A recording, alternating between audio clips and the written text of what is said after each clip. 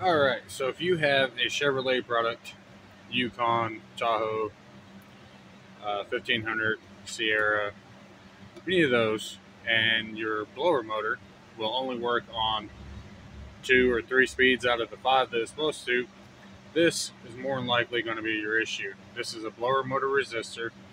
They're known for going bad in Chevrolet products. They get hot, they end up melting. And I'm kind of seeing there on the prongs. This one right here is definitely melted. Uh, it's a common issue in these Chevrolets. So I'm going to show you exactly how to replace this today. So what you're going to need is a 5 by 5.5 socket.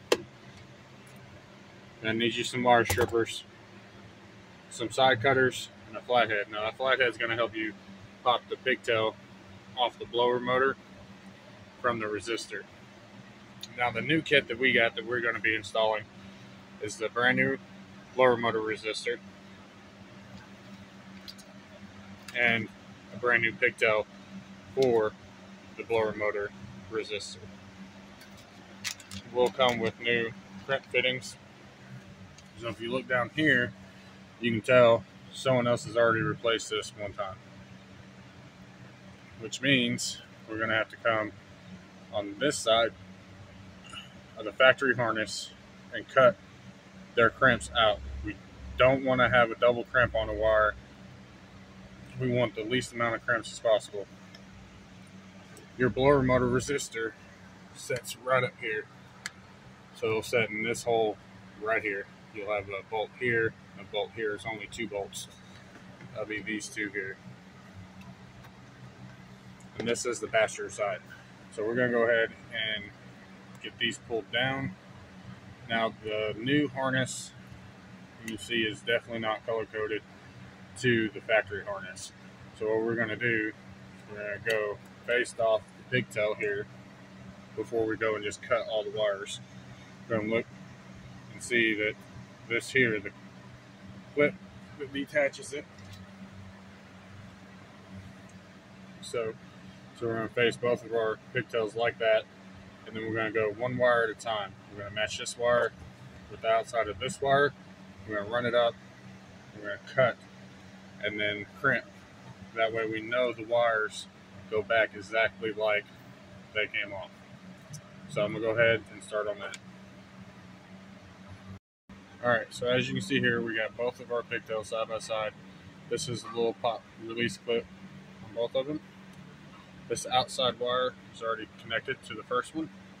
This is the first outside wire on the one that we're removing. See what I mean by cutting on the other side.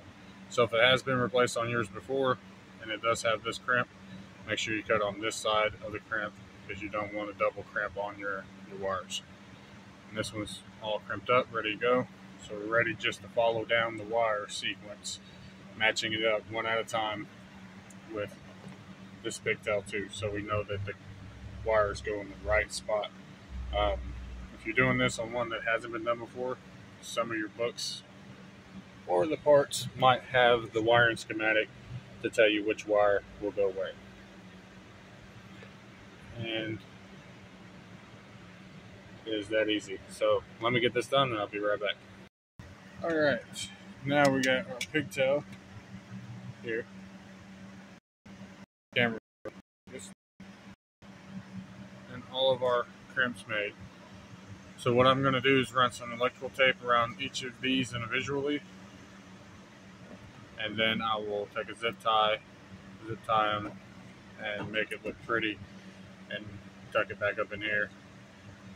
And then I'll be right back. But yeah, so just make sure that uh, all your wires are crimped. You can hold the center and then pull out, pull a little bit.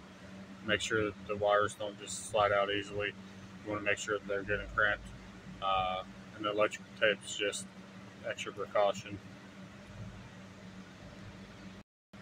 Alright, as you see, we got our new blower motor resistor installed. There's that one screw and the other screw. The red wire on the back of the resistor goes to the back side of the blower motor. These look like they're pull tight, but they're not. They're zip tied together here. And we zip tied it to a harness up here to keep the wires from showing. So remember to hit that subscribe button. At a thousand subscribers, we'll be doing a tool giveaway.